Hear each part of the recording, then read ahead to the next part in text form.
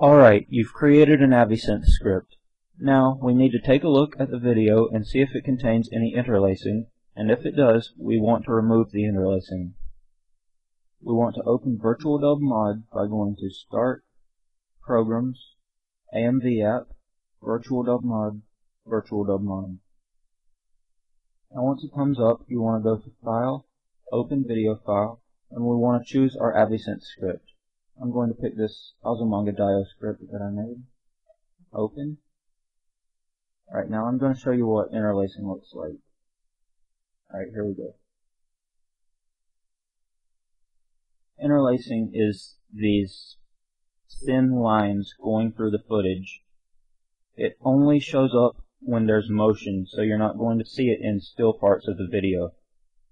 Now, if you don't see any interlacing at all in your video, then you're not going to need to do anything else here. If you did force film when you saved your dgindex project file, then you shouldn't see any interlacing. If you do, then something is wrong and you should go back and recreate your dgindex project file and make sure to set it to honor pull-down flags. If dgindex told you that your video type was PAL or the frame rate was 25 frames per second, then we need to simply deinterlace the video and I'll show you how to do that in a moment. Otherwise, we are going to try removing the interlacing through a process called inverse telecine. We can do this by just making a few simple additions to our AviSynth script. VirtualDubMod has a handy script editor that we can use for this. Just go up to Tools, Script Editor, and as you can see, your AviSynth script will appear here. Now, I want to go to a new line, and I'm going to type TFM open parentheses, pp equals 0, close parentheses. And then on another new line, I'm going to type t decimate, open parentheses, mode equals 1, close parentheses. Now I'm going to go to File, Save, and Open as Avi. And now I'm going to look through the video and see if I see any more interlacing in it. If you don't see any interlacing or if you see maybe a frame here, a frame there, nothing major, then the inverse telecine worked and we're just going to go back and make one slight change to the script. You want to remove this pp equals 0 from here and hit save. And you're done there.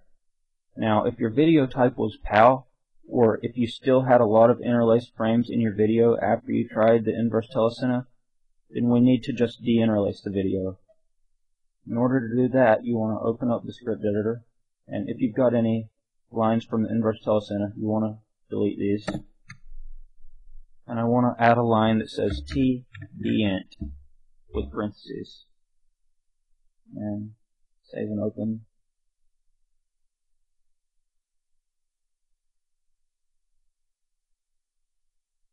And this will remove the interlacing but as you can see it can make the lines kind of jagged here. Um, if you go on the script editor you can add a parameter called mode equals 2 and see how this looks.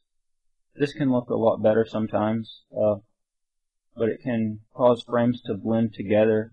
So so you basically you might want to try it with and without this and see what you think looks better. And once you've decided that, just save your script and you're done.